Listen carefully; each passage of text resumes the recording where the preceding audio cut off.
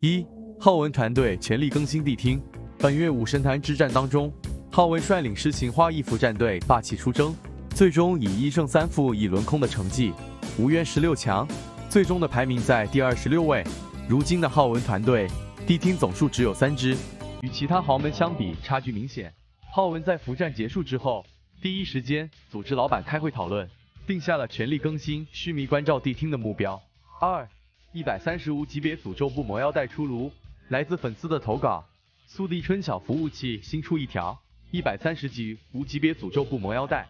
可惜的是，在诅咒特技流行的一百零九和八九等级，风府门派都会选择愤怒腰带。这条腰带的作用略显鸡肋。三第一三特殊法图山童出炉。近日，一百五十九神豪鸭皇在合宠时炸出一只十三技能图山童，同时携带了须弥加出其不意。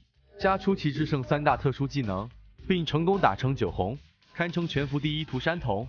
四六十九号出极限专用无级别剑。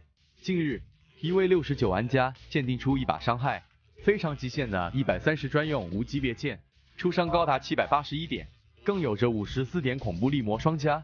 这把武器最适合打上太阳石，作为六十九魔方寸的顶级神器出现在群雄赛场。五七十无级别笑里女头两万遭瞬秒。文殊院一位玩家鉴定出一个七十五级别笑里女头，由于不懂价格，仅仅以两万元的价格上架，瞬间就被秒杀了。